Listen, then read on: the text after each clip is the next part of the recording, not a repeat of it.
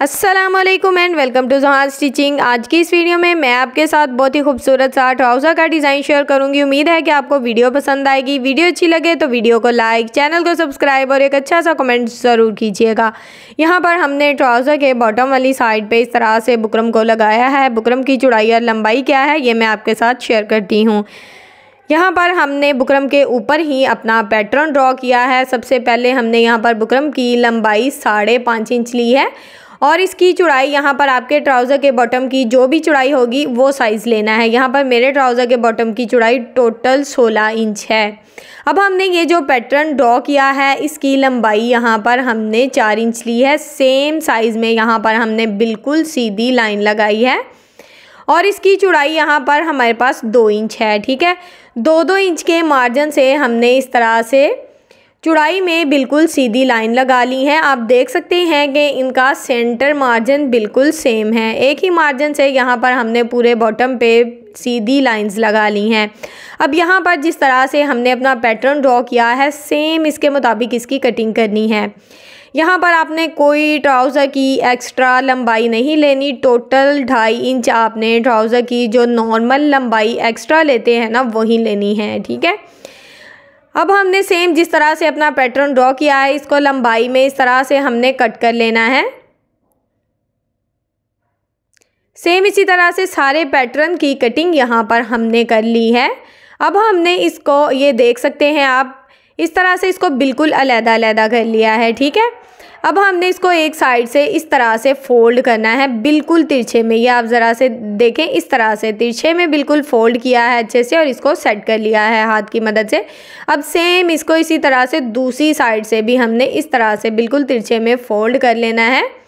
यहाँ पर जितना हमने पैटर्न ड्रॉ किया है, उसके मुताबिक हम अपना जो फैब्रिक है, उसको इस तरह से फोल्ड करके अच्छे से सेट करेंगे। यहाँ पर मैं अपने फैब्रिक को आयरन करूँगी, ठीक है? बहुत ही सिंपल, आसान तरीका आपको बताऊँगी। इस तरीके से आप कटवर्क वाला बहुत ही खूबसूरत और प्यारा सा डिज़ाइन बहुत ही आसान तरीके से बना सकते हैं। पहले हमने इसको एक साइड से तिरछे में फ़ोल्ड किया है, सेम इसी तरह से हमने इसको दूसरी साइड से भी फ़ोल्ड कर दिया है। इसी तरह से हमने अपने फैब्रिक को फ़ोल्ड करते जाना है। पहले एक साइड से इस तरह से, जैसे मैंने आयरन इसके ऊपर रख दी है ना, ये इस तरह से बुकरम हमारी बिल्कुल परफेक्ट शेप में बैठ जाएगी। यहाँ पर अगर आपके पास ग्लू स्टिक नहीं है तो आप यहाँ पर हल्का सा पानी लगाकर भी इस बुकरम को अच्छे से सेट कर सकते हैं। मैं यहाँ पर आपको ग्लू स्टिक के साथ इस डिज़ाइन को बिल्कुल परफेक्ट शेप में बैठा कर दिखाऊँगी। बहुत ही नीट और बहुत ही खूबसूरत सा डिज़ाइन है, जो बिगनर्स हैं, वो ये कटवर्क वाला डिज़ाइन बहुत ही सिंपल और आसान तरीके से बना सकेंगे। तो आपने इस वीडियो को एंड तक वॉच करना है। यहाँ पर हमने एक ही तरीके से आप देख सकते हैं कि टोटली जो डिज़ाइन है, उसको बिल्कुल तिरछे में फ़ोल्ड किया है। सिंपल और आसान तरीका है। यहाँ पर मैंने तीन डिज़ाइन आपके सामने तैयार किए हैं। बाकी का जो पैटर्न है, हमने इसी तरह से रेडी कर लेना है, ठीक है? ये आप देख सकते हैं, यहाँ पर टोटली चार डिज़ाइन मैंने रेडी कर लिए हैं। अब इसमें हल्की सी इस तरह से ग्लू लगा लेंगे, ठीक है?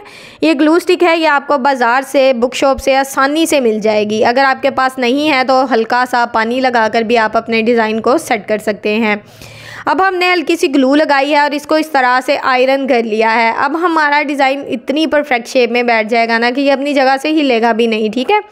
अब हमने इसको इस तरह से ये जो इसका एक्स्ट्रा फैब्रिक यहाँ पे शो हो रहा है, इसको हमने इस तरह से कट करना है और इसको अच्छे से नीट कर लेना है। यहाँ पर आपने फैब्रिक को कट करते वक्त बड़े ध्यान से फैब्रिक को कट करना है। सिर्फ़ हमने अपना जो एक्स्ट्रा फैब्रिक है, उसको ही नीट करना है। डिज़ाइन आप देख सकते हैं, बहुत ही नीट यहाँ पर हमने तैयार किया है। सेम इसी तरह से टोटली डिज़ाइन यहाँ पर हमने कट करके अच्छे से नीट कर लिया है। अब हमारा डिज़ाइन यहाँ पर रेडी है। अब हमने ऑर्गेन्जा फैब्रिक लिया है। ये डबल फोल्ड में है और यहाँ पर हमने पेपर लिया है। ठीक है, इसके ऊपर ऑर्गेन्जा फैब्रिक को इस तरह से रखा है। इसकी टोटल लंबाई हमारे पास तकरीबन साढ़े छः इंच है। हमारा डिज़ाइन छः इंच का था। इसकी लंबाई हमने साढ़े छः इंच ली है और इसके ऊपर इस तरह से सिलाई को चला लिया है। अगर हम ऑर्गेन्जा फैब्रिक को इस तरह से पेपर में सेट कर देते हैं तो हमारा जो ऑर्गेन्जा फैब्रिक है ना, वो डिज़ाइन में बिल्कुल परफेक्ट शेप में बैठ जाता है। अब हमने डिज़ाइन को इस तरह से इसके ऊपर अच्छे से रखना है, इसको सेट करना है और इसके ऊपर इस तरह से बिल्कुल किनारे की सिलाई चला लेनी है। इस तरह से हमारा डिज़ाइन जब हम इसके ऊपर सिलाइयाँ चलाएँगे तो ये ऊपर नीचे नहीं होगा, बिल्कुल परफेक्ट शेप में बैठ जाएगा। अब हमने यहाँ पर अपने डिज़ाइन के ऊपर बिल्कुल किनारे की सिलाई चलानी है, ठीक है? जिस तरह से हमने अपना डिज़ाइन को लगाया है सेम उसके मुताबिक इस तरह से हम अपनी सिलाई को चलाते जाएँगे। इसी तरह से हमने अपने डिज़ाइन को अच्छे से नीट कर लेना है। यहाँ पर सिलाई बिल्कुल किनारे की चलानी है। ये डिज़ाइन अगर आप चाहें तो आप स्लीव्स पर भी बना सकते हैं। अगर आपको ये डिज़ाइन पसंद आता है तो और भी बहुत से आइडियाज़ हैं मेरे पास जो कि मैं आपके साथ शेयर करूँगी। तो वीडियो को लाइक ज़रूर कीजिएगा और चैनल को सब्सक्राइब ज़रूर कीजिएगा, ठीक है? अगर आप इसी तरह के और भी खूबसूरत और प्यारे प्यारे से डिज़ाइनिंग देखना चाहते हैं तो चैनल को सब्सक्राइब कर लीजिएगा। इस तरह से मेरी हर आने वाली जो नई वीडियो है वो आपके पास आएगी। आपको नोटिफिकेशन मिलेगा उसका।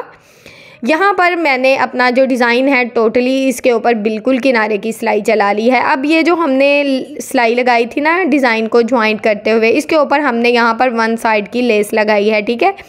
ऑफ़ वाइट कलर में यहाँ पर मैंने वन साइड लेस का इस्तेमाल किया है और इस लेस को इस तरह से बिल्कुल अपनी सिलाई के ऊपर ऊपर रखते हुए इसके ऊपर मैंने सिलाई चला दी है। लेस अच्छे से ज्वाइंट हो चुकी है। अब हमने इस लेस का जो एक्स्ट्रा मार्जिन है, उसको कवर करना है। जितनी आप यहाँ पर लेस दिखाना चाहते हैं, उस हिसाब से दिखाते हुए इसके ऊपर इस तरह से फैब्रिक को फोल्ड करके अच्छे से सेट करें और इसके ऊपर सिंपल सिलाई चला लें। आप देख सकते हैं कि हमारी लेस बिल्कुल गुम तरीके से बहुत ही अच्छे से लग गई है। यहाँ पर आपने अपने फैब्रिक को हल्का सा ढीला रखना है। इस तरह से फैब्रिक में खिंचाव नहीं आएगा और सिलाई बहुत ही अच्छे से चल जाएगी। सिलाई बिल्कुल किनारे की चलानी है। अब ये सिलाई यहाँ पर हमारी मुकम्मल हो चुकी है। सिंपल सा डिज़ाइन आपके सामने है, ठीक है? अब हमने यहाँ पर अपने डिज़ाइन के ऊपर बिल्कुल किनारे के प्लेट्स डालने हैं। तो यहाँ पर तकरीबन डेढ़ इंच जो फैब्रिक है मैंने लिया है और इसको इस तरह से फोल्ड कर लिया है, ठीक है? इसके ऊपर यहाँ पर बिल्कुल किनारे की सिलाई चलाई है।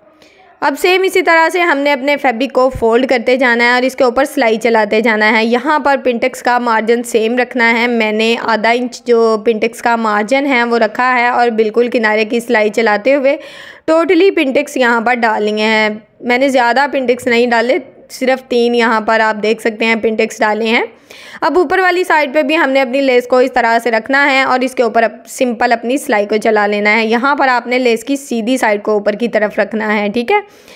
मैंने आपके साथ बहुत ही खूबसूरत से ट्राउज़र के स्लीव्स के नेक के, कुर्ती के साइड जाके बहुत ही प्यारे प्यारे से डिज़ाइन शेयर किए हैं। प्लीज़ मेरी उन वीडियोस को भी देखें, मेरे चैनल का विज़िट करें। इंशाल्लाह आपको बहुत ही अच्छी अच्छी और हेल्पफुल वीडियोस मिलेंगी। यहाँ पर सेम हमने जैसे नीचे वाली साइड पर लेस को लगाया था, उसी तरह से फैब्रिक को इस तरह से लेस के ऊपर फोल्ड करना है और इसके ऊपर बिल्कुल किनारे की सिलाई चला देनी है, ठीक है? टोटली जो हमने दो से ढाई इंच फैब्रिक लेना है ना, वो हमारा प्लेट्स में जाएगा या तो इस फैब्रिक को फोल्ड करने में जाएगा। ये जो मार्जिन है, इसमें ज़्यादा फैब्रिक जो है, वो यूज़ नहीं होगा। ये जो हमने कटवर्क वाला डिज़ाइन बनाया है, ठीक है? तो यहाँ पर कोई भी एक्स्ट्रा मार्जिन लेने की ज़रूरत नहीं है। ज़्यादा से ज़्यादा आपने ढाई इंच मार्जिन लेना है। खूबसूरत सा ट्राउज़र का डिज़ाइन आपके सामने बिल्कुल तैयार है। इसको आप स्लीव्स या दामन पर भी बना सकते हैं। दामन पर बनाया हुआ इस तरह की लुक देगा और यहाँ पर ट्राउज़र पर बना हुआ फिटिंग में ये इस तरह की लुक दे रहा है। आपके सामने है बिल्कुल बहुत ही नीट और बहुत ही खूबसूरत सा डिज़ाइन है। स्लीव्स में पहना हुआ इस तरह की लुक देगा। अगर स्लीव्स में बनाना चाहें तो आप बना सकते हैं। यहाँ पर अगर आपको मेरी वीडियो अच्छी लगी है तो जल्दी से मेरी वीडियो को लाइक करें, मेरे चैनल को सब्सक्राइब करें और एक अच्छा सा कमेंट ज़रूर करें। ओके जी, अल्लाह हाफिज़।